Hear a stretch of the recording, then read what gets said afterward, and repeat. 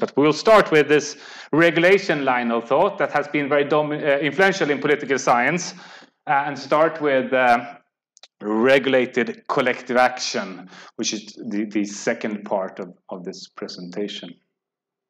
And I will show you a picture of a man here. Uh, perhaps someone recognizes this man. It's Thomas Hobbes, famous uh, political theorist and philosopher, uh, who's uh, been quite influential in political theory when it comes to basically problems of collective action and basically the legitimacy of the state to some extent. He wrote a book, a very influential book called Leviathan. I think some of you might have heard about it at least, uh, which uh, Leviathan is a biblical sea monster, which in the world of, of Hobbes represent the state. But his point of departure in Hobbes thinking was something of imagined state of nature. That was the point of departure for his philosophy. So you should imagine a state of nature, which he describes here as a society uh, that is solitary, poor, nasty, brutish, and short. This is an imagined state of nature. I, have heard about the misinterpretation who uh, thought it was solitary, poor, nasty, British, in short. Uh, but I think it should be British. But uh, anyhow, uh, this is the idea, an imagined state of nature that Hobbes explained in, in this Leviathan book. Uh, I think he, he, doesn't say that this is a historical moment. Has, this has never appeared, but it's more of a point of departure for the thinking of Hobbes. Uh, what will happen if people live in these imagined state of nature. Hobbes uh, think that in this type of society there will be the war of all against all, basically. People fight each other for survival. Uh, people are egoistic and will try to do anything uh, to attain power in this uh, type of society. Uh, there's no cooperation uh, at all basically people cannot solve collective action problem. They will never come together and solve collective issues because they are egoistic and rational. And this basically, this idea of people being these rational, egoistic, kind of autistic uh, people, this, this echoes in, in uh, later works in political science and economics. Uh, the rational choice theory is influenced by the thinking of Hobbes uh, that people will never, never cooperate. Uh, so the idea, uh, basically from Hobbes and onwards, is that we need something, a third party to step in and do something. That is the Leviathan, this monster. That is the state, basically. So Hobbes thinks that without this state, we will not uh, attain, we will not reach collective action. So we need some kind of third party, some external authority, and now we, we see this as the state uh, who who steps in and solve dilemmas of collective action, basically, through regulations. Uh, basically, by in different ways changing the incentive structure in favor of cooperation. So that is basically setting up regulations uh, saying basically that if you try to kill another man or woman, you, you go to prison, or or or, uh, or basically these type of, of basic regulations. So so to change the incentive structure, so these egoistic people will type come align and and force. Uh, collective action to come through and basically politics seen this way is is basically trying to promoting collective action uh, when it's not taking place voluntarily and now we are at the core of the political science uh, ish, uh, uh, subject in a way, uh, because this um, is, is basically justification for the state. That through the state, through the power of the third party, collective action is possible. So the Hobbesian answer to uh, the problem of AMR will be regulation, force people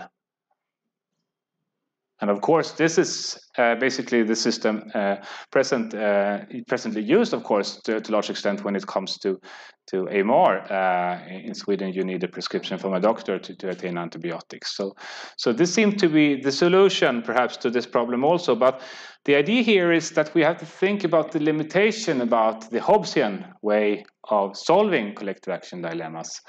Uh, and this uh, is illustrated here by a quote in an article uh, in uh, Health Policy a few years ago saying that just talking about how to regulate antibiotics use, that many of these regulatory aspects may well be only uh, existent on paper but not properly implemented. So it's one thing to um, to to uh, to decide upon regulations, but uh, if they're not enforced and not implemented, they're only on paper. They won't change this dilemma in any way. Uh, so, and also when it comes to regulating this issue of antibiotic resistance, there is, I would say, uh, a particularly problematic in many ways because regulating an issue which is there is a lot of uh, asymmetric information where the doctors or the healthcare personnel has more information basically than the payer or the provider of, of certain uh, healthcare uh, uh services. And then it might be easy to uh, build up system prone to co uh, corruption. So and this has been explained by the former health minister in, in Romania, when it comes to the issue of antibiotic resistance, the former health minister Vlad Voiculescu, who just make the, the connection between corruption and antibiotic resistance, saying basically that corruption generates antibiotic resistance. In societies where there is corruption, rules are broken, therapy guidelines and protocols are not respected, pharmaceutical drugs are released without prescription, measures to isolate patients infected with multi-resistant germs are not respected. So this is a man, uh, a former minister in Romania, where there is not only a lot of corruption there's corruption in the healthcare system, as well as quite substantial use of antibiotics as well and resistance levels. So, so this man should know. Uh, and this issue is quite interesting. So me and a colleague at the political science department wanted to look at this in, in, in, more detail. So we want to study thinking about the healthcare issues being uh, uh, area or, or, or a sector where, which is prone to corruption and also then look into the connection between uh, corruption and bribery and antibiotic use. So we, we made a study a couple of years ago where we looked into this relationship. So we, we, we wanted to investigate the, the uh, association between consumptions of antibiotics in European regions and also uh, the presence of bribery and corruption.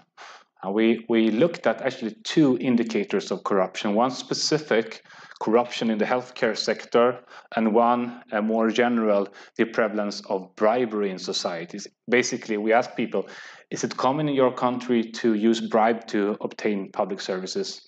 And also we uh, ask people uh, if they think that there is corruption in healthcare sector. It's quite difficult to, to do research on this, I should say.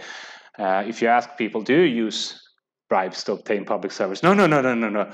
But if you ask in general, how is it in, in your country, in your region? Yeah, yeah, yeah, yeah. That's quite common. So, so um, actually, this is quite a common way to to uh, to investigate prevalence of corruption. So, we wanted to study this also on the regional level. We study Europe uh, because there is quite good data. Uh, uh, on, on corruption, and we also obtain data on the regional level uh, when it comes to corruption. And this is quite important because there is substantial regional variation in the use of antibiotics as well. Uh, we used survey data, which is not optimal, but it's there to study if people say if they have been using antibiotics for the last um, 12 months or so. And we correlated that with these measures of bribery and corruption. Uh, so we studied that in Europe, and also uh, this uh, interesting uh, variation within country variation in in antibiotic use. So. Uh, it might be general so that we consume less antibiotics in the northern part of Europe and, and more so in, in the southern part, but there's actually substantial variation within countries, which is interesting. Uh, because it it also allow you to to uh, to some extent take into account the variation in regulatory structure within countries. But we studied this and also controlled for a number of factors that could kind of confound this relationship. And then we found I should show you. It doesn't uh, perhaps if you see this. Uh, you don't have to, to read all the names, but that's actually the regions. Uh, but you see here the the um, the association between corruption in the healthcare sector and uh, the use of antibiotics. There is, uh, of course, not a perfect correlation, but it, it's uh, it's there. More corruption is, is linked to more use of antibiotics. Uh, so this has also been studied actually at the country level. When we prepared our article, there was also an article out on the country level. We talked about the uh, the uh, advantage of studying this at the regional level, but there, this is interesting study who study corruption and also in relation to not use of antibiotics, but instead antibiotic resistance. Uh, so this is a, a paper in, in PLOS One uh, uh, some years ago, and there has been uh, more research uh, looking into this interesting relationship. But when we, we look at these type of studies, it's, it's interesting to see the correlation basically, but we all have to think about what are actually the mechanisms involved here.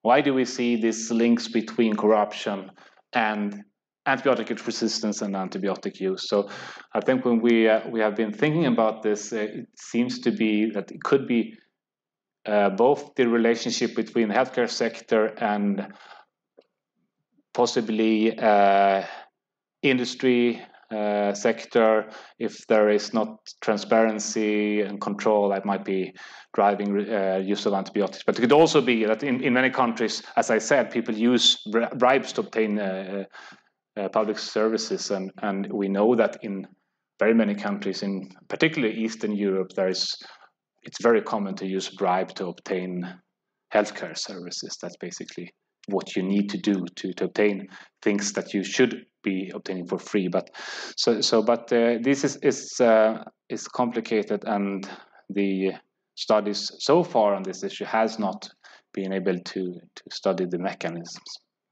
But uh, it's interesting to think about them actually. But in general, this points to the limitation away uh, to some extent of, of the thinking of Hobbes here, uh, because uh, if you go want to go the uh, hard way of Hobbes and okay, we should regulate, regulate, regulate this, we know that it's quite tricky to get that working in, in high corrupt societies.